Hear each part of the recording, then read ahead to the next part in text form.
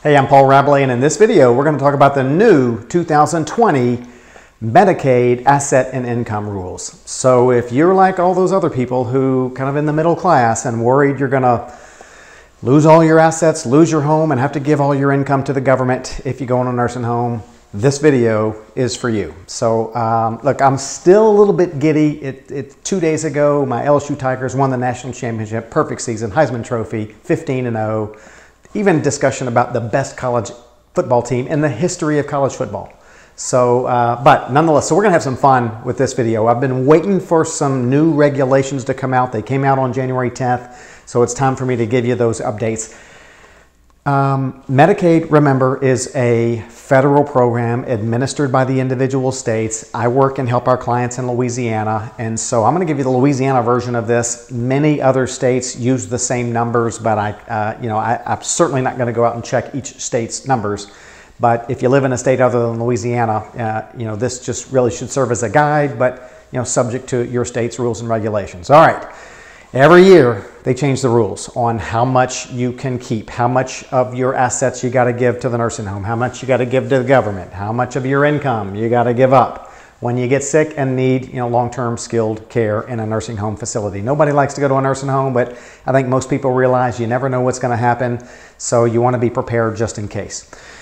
Okay, so I'm going to go through some new asset rules, and then I'm going to go through some income rules. First, let's talk about assets, and I'm going to focus on what's called the spousal resource standard. I'm going to do this in a way that any ordinary Joe should be able to understand it, even though Medicaid is complicated. So the first rule I'm going to go over is the scenario where you have a married couple, I think y'all understand that, and you have a scenario where one spouse goes into the nursing home and one spouse does not go into the nursing home. So let me tell you a little bit of lingo. The spouse who's in the nursing home is called the institutionalized spouse. They're in a nursing home institution. The spouse who's not in the nursing home, maybe they're at home, maybe they're in an apartment, maybe they're in an assisted living facility, but they're not in a nursing home. That spouse is called the community spouse. Has nothing to do with community property, and I realize Louisiana is a community property state, but they're called the community spouse because they're still living in the community. So you got a married couple, you got a community spouse living at home or in the community, you got an institutionalized spouse in the nursing home. The nursing home costs, you know, $7,000 a month, $8,000 a month, whatever it might be. Um, how much of the couple's assets do you have to spend before, you, before the institutionalized spouse starts getting some help from Medicaid? So here's the deal, the number just changed. So this is how much that married couple can have, or really how much the community spouse who's at home, how much of their assets they can have before uh, Medicaid starts paying the $7,000 or whatever it costs for the institutionalized spouse's care. So the new community uh, the new spousal resource standard increased from $126,420 to, drumroll please, $128,640. So let me explain that in another way. Let's say husband and wife have um, $125,000 in the bank. That's all they've got. They've got a home and a car, but in addition to that, they've got $125,000 in the bank. Wife has a stroke, husband can't take care of her, she has to go into the nursing home. They admit her to the nursing home. Nursing home costs $7,000 a month. They only have $125,000 in the bank. They know that won't last very long. Now, because what they have is less than this community spouse, um, many states call it the CSRA, Community Spouse Resource Allowance. Louisiana calls it the Spousal Resource Standard because their $125,000 and that's all they've got other than their home and the car is under $128,640, the wife will qualify for Medicaid and Medicaid will cover her nursing home care. We'll talk about income in a minute, but, but they will pass the asset test. So uh, 128, 640, new rule for 2020. Couple of other rules that didn't change. If both spouses go into the nursing home, well, they got to spend everything down to $3,000 and that won't take long because now they're spending at it at twice the rate with two spouses in the nursing home.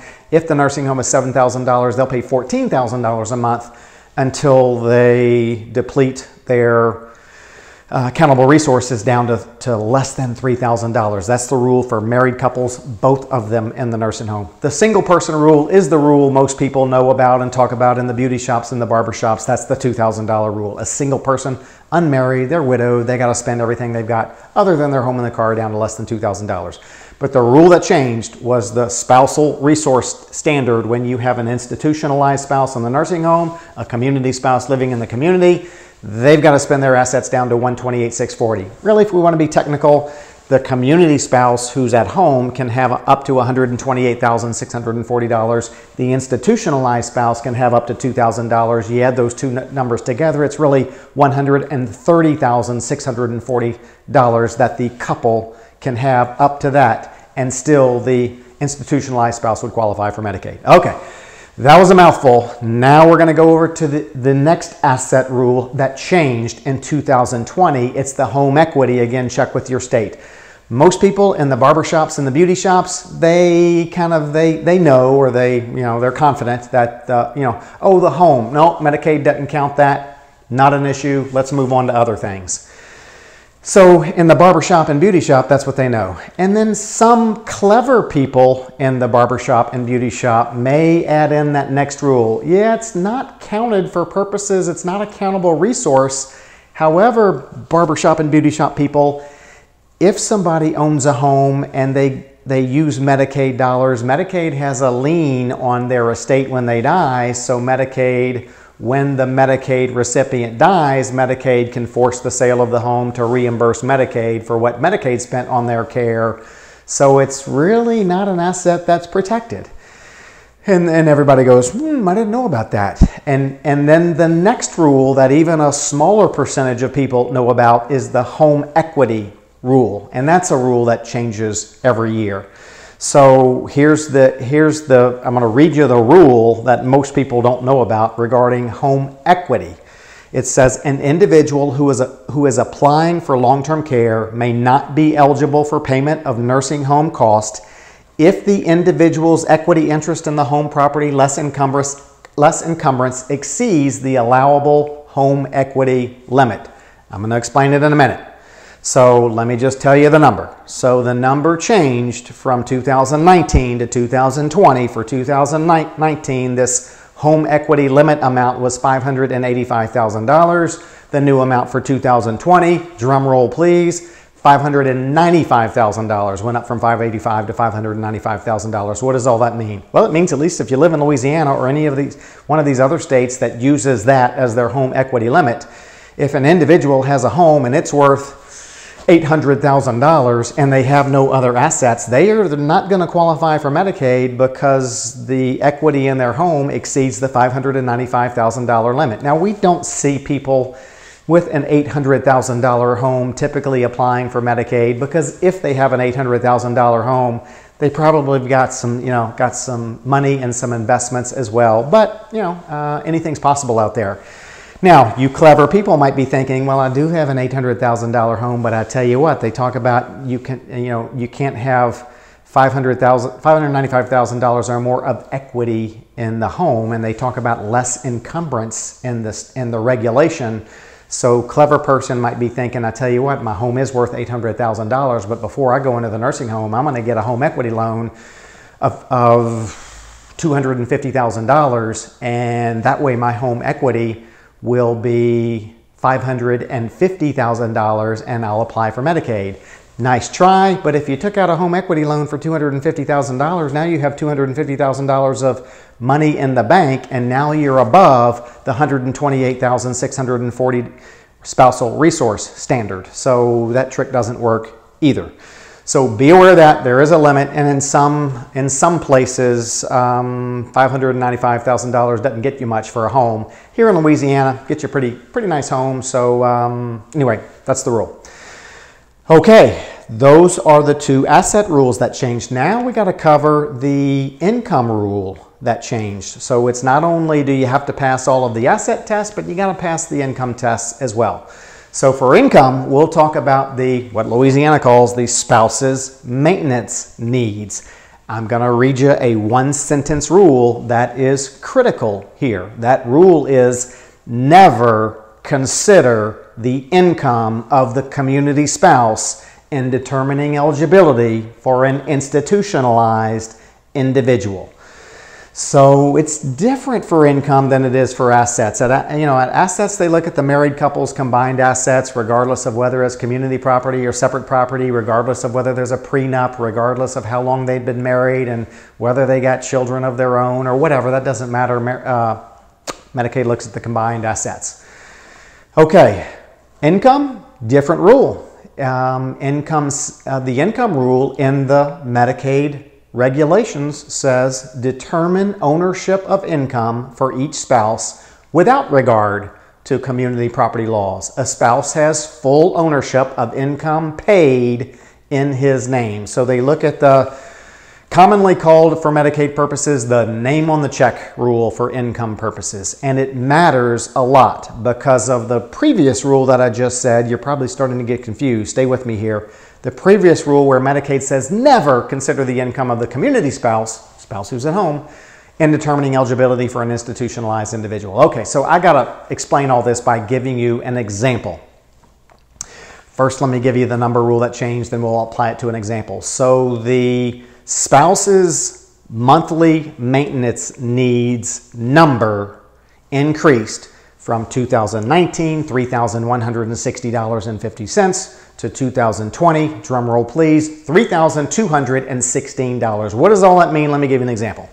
Okay the example is let's say the husband, and I know it never works out exactly this way, and you know, it's usually both spouses have some income, whether it's pension or social security or other monthly income, but let's just keep it simple. Let's say in our example, the husband gets $5,000 of monthly income. And let's say the wife gets zero monthly income. That's the name on the check, and his doesn't really matter where it comes from. Might come from Social Security, might come from a pension from his former employer. Anyway, $5,000 a month. Okay. And let's say the husband in this example is the institutionalized, uh, he's, he's the community spouse, and the wife is the institutionalized spouse. So he's at home, He's been getting and, and continues to get $5,000 of monthly income. She's in the nursing home. She gets no income paid to her in her name each month. How much of the $5,000 of income that the, that the husband gets, how much does he have to give to the nursing home or to the government or spend on her care before Medicaid will kick in and pay the balance? Now, remember, let's assume they've passed the asset test. Now we're talking about the income. So if the husband is getting $5,000 of monthly income and the wife is getting a big fat zero, and the husband's at home, he's the community spouse, and the, and the wife is in the nursing home, guess what? The husband, uh, and they pass the asset test, Medicaid is going to pay for all of her nursing home care because of the rule, and I'm saying this for the third time, Medicaid says never consider the income of the community spouse in determining eligibility for an institutionalized individual. So the community spouse gets to keep all of their income. He could be getting, instead of $5,000 a month, he could be getting $20,000 a month of income, and he would be able to keep all of that. Now, if he gets a lot of income and he doesn't spend it, it may cause their assets to go over the 128,640, so you may create a problem on the asset side, but the income is all his. Now let's turn the tables. Now let me get just, let me switch that example up a little bit. Let's say same income, husband gets 5,000, uh, wife gets um, zero, and let's just go ahead and plug a number on their combined assets. Let's call that $120,000, so they're under the 128,640.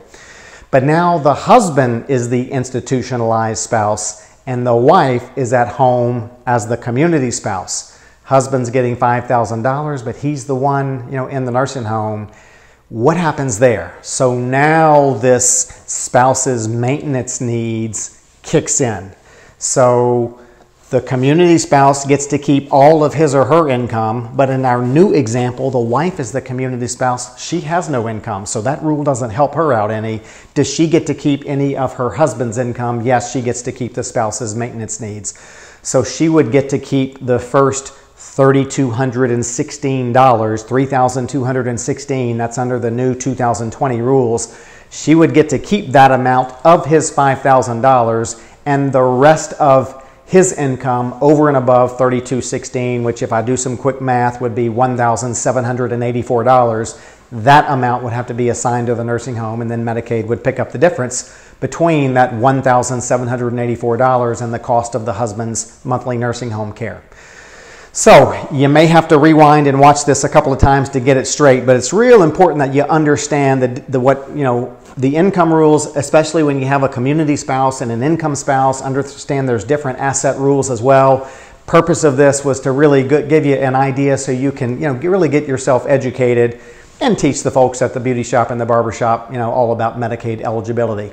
So these numbers change every year. There are uh, no other you know, significant changes that I'm aware of at the moment that they made for 2020, but they do adjust these numbers that I went over every year. And so you know, I want to keep you posted every year on the latest news so you can keep track of it and, and protect what you have for your family. Real important that you do hit the subscribe button and, and the notification bell so you don't miss anything. If you've already done it, thank you.